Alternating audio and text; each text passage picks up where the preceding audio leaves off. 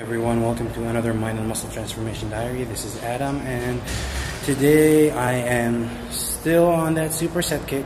If you know, yes, any of my clients or training partners, they know that I love my supersets. And why? Because my friend, if you want to be superhuman, if you want to be a superhero, you gotta do those super, those supersets, right? So I'm gonna keep it with the supersets for the most part for today.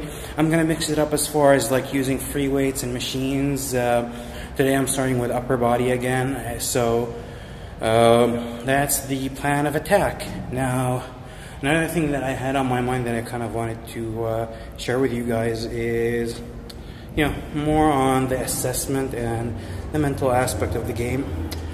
The other day, I think it was yesterday or the day before, I ran into an old friend, former coworker, that I haven't seen in several months, probably a year, and he commented how I was looking bigger and leaner, and that was kind of like a pleasant surprise because, you know, uh, we're always our own worst critics, but we should also learn to uh, balance that by being our own biggest fans and believing in ourselves more than everybody else.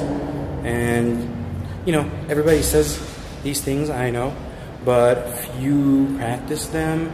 So I am all about execution and putting into practice the things that are most beneficial to us. So with that in mind, yeah, like, you know, it, and I'm not gonna lie, it gave me a little bit of a bump. It cheered me up a little bit because you know I've been down on myself as far as you know getting back in tip-top shape. So uh, you know, uh, I'm gonna keep pushing forward.